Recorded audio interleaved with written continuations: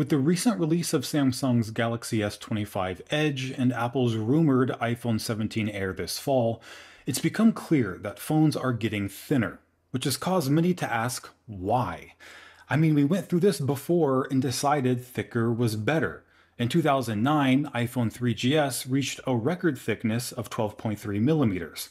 This was at a time when iPods were Apple's most popular product, and they were far thinner than iPhone. So customers expected Apple to make the device slimmer, and they did.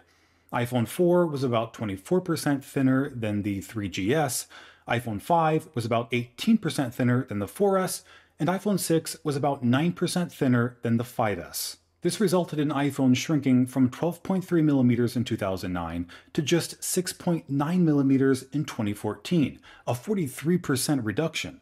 But Apple broke from this trend starting with iPhone 6s, when they actually made it 3% thicker than the previous iPhone 6.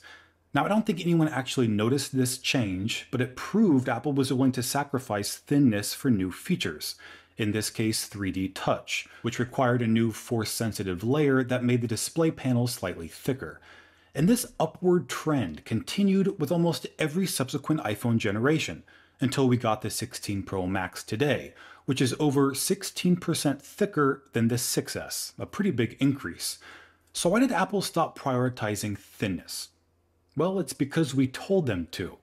In October 2014, Scott Stein of CNET reviewed the 6.9mm iPhone 6 and said, quote, I had battery life as my top most wanted feature for this year's iPhone, and I wasn't given what I wanted. I would have liked and bought a thicker iPhone with better battery life.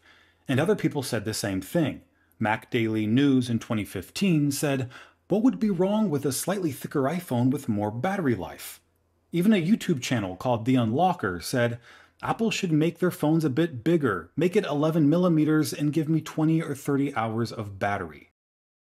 Now, iPhone hasn't reached 11 millimeters of thickness, but at 8.25 millimeters, they've been able to deliver much longer battery life. At 33 hours of video playback, the 16 Pro Max lasts almost two and a half times longer than the 6S Plus did in 2015, partly due to its battery being 70% larger.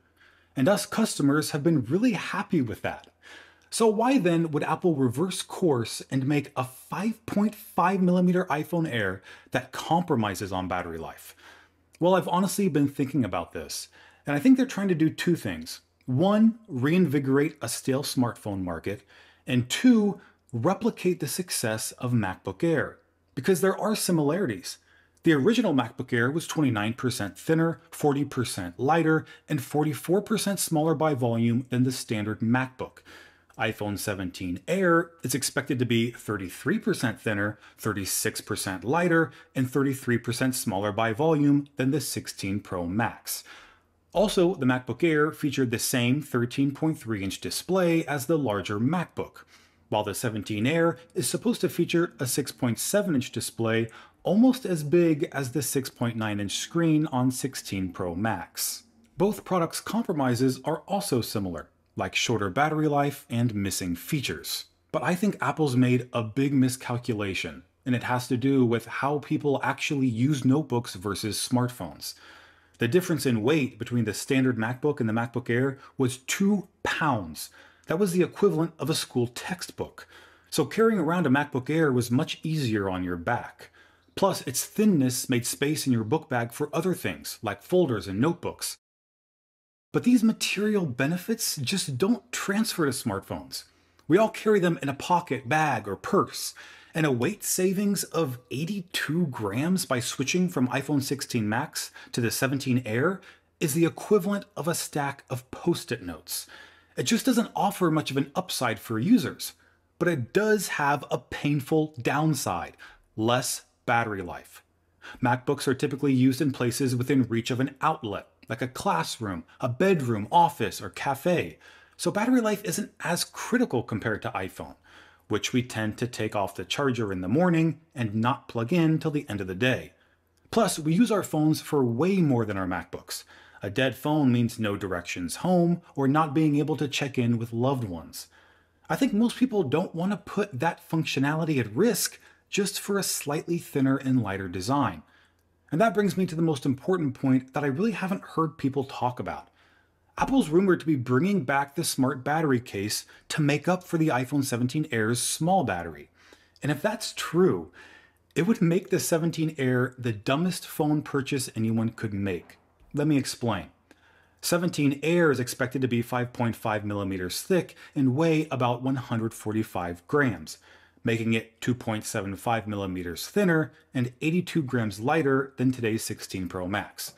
But a lot of people are going to use the battery case to make sure the 17 Air lasts a full day. If it's similar to the battery case for iPhone 11 Pro, it would add about 9 millimeters of thickness, whereas a standard case adds about 1.5 to 2.5 millimeters of thickness. So a super thin iPhone Air would suddenly become 14.5 millimeters thick with the battery case compared to 10.25 millimeters for the 16 Pro Max with a standard case. That's 41% thicker. Now let's consider its weight. The battery case would likely add around 190 grams. A standard case weighs about 28 grams. So iPhone 17 Air would weigh a total of 335 grams, which would be about 31% heavier than the 16 Pro Max. Not to mention the added inconvenience of carrying around the battery case when you don't need a charge, then putting it on when you do.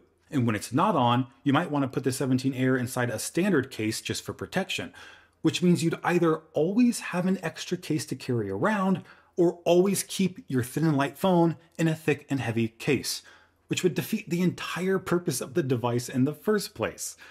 But we haven't even gotten to the best part.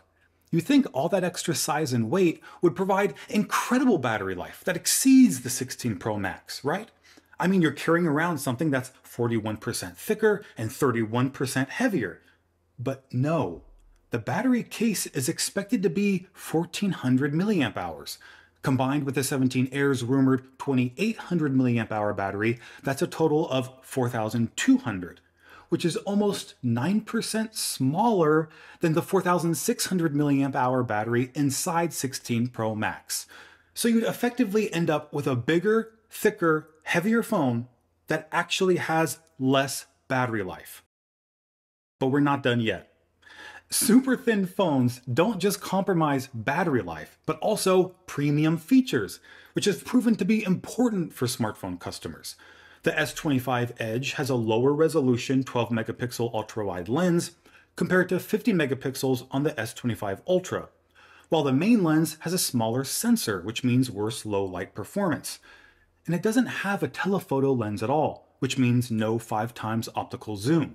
There's also no S Pen support, and wired charging is slower at 25 watts compared to 45 watts.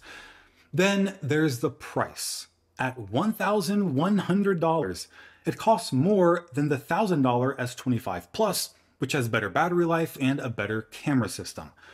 The S25 Ultra is just $200 more than the Edge, and has all the premium features customers have come to expect from modern smartphones iPhone 17 Air is also expected to be missing features. It'll only have one camera lens, like on the 16E, which people were already upset about on that device. And it'll only have one small speaker in the earpiece, with no bottom speaker, and a lower performance A19 chip instead of the A19 Pro. But we're still not done. Now let's consider the cost. Apple's previous smart battery case was $129, so I'll be generous and assume they don't raise the price. The 17 Air is expected to cost $900, so buying the phone and case together would come to $1,030. The 16 Pro Max is $1,100, just $70 more. And it has more battery life, more features, more screen, and with their cases on, a thinner, lighter, and smaller design. So this all boils down to one question. How many customers want to pay the same amount, or in the case of the S25 Edge, pay more for less? Less size and less weight without the case, but also less battery, less camera, and less features. Personally, I don't think most people will. iPhone sales in the past few years are higher than they've ever been, and that's precisely because Apple has given us exactly what we want big screens, big batteries, and big cameras. Just look at what happened when Apple stopped doing that in the past. The iPhone 12 mini delivered a lighter and more compact design, similar to the 17 Air, but it compromised on the very features we begged Apple for back in 2014. As a result, it was a sales disappointment. Demand for the 12 mini was so low that Apple cut its production by 70% just six months after its release, and ended production sooner than any iPhone in history. And that's probably why Apple's playing it safe with the 17 Air, since it'll account for just 10% of all iPhone production, according to current rumors. The good news is that this trend toward thinness won't be like in the early days of iPhone. Back then, there was only one model, so if Apple decided to give it a small battery, we just had to deal with it.